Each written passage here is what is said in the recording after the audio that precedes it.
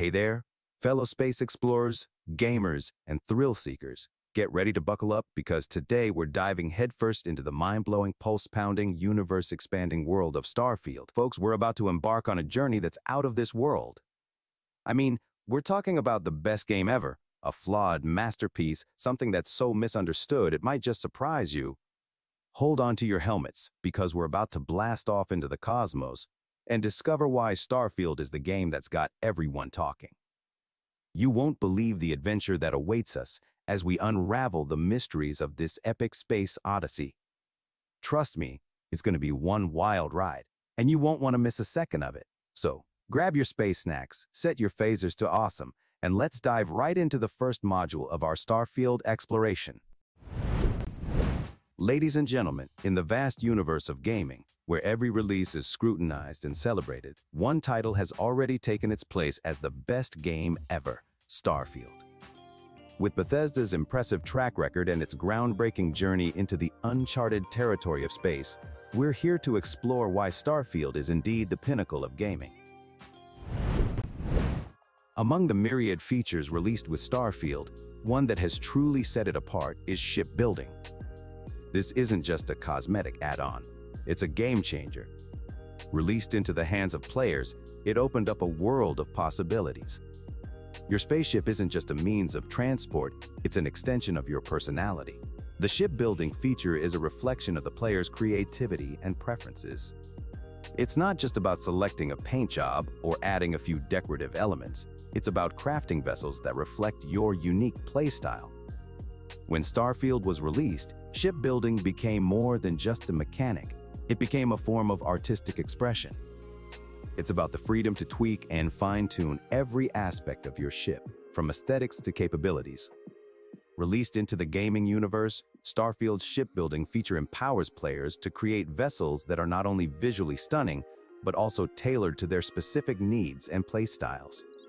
It's a feature that adds depth to the game, allowing us to craft vessels that are more than just transportation. They're an integral part of our interstellar journey.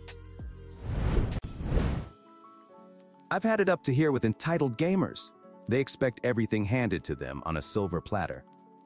It's like they think the world revolves around their every whim. Starfield is a labor of love, a masterpiece that the developers poured their hearts into, and yet some gamers have the audacity to nitpick every little detail. It's infuriating they need to learn to appreciate the artistry and hard work that goes into a game instead of complaining about every little thing. When Starfield was released, I was in awe of the dedication and craftsmanship that went into its creation. It was evident that the developers had poured their hearts and souls into every aspect of the game, from the stunning visuals to the intricate gameplay mechanics. It was a reminder that games are a form of art, and like all art, they are subjective. But some gamers seem to have forgotten that. They demand perfection, nitpick every minor flaw, and act as if they're owed something.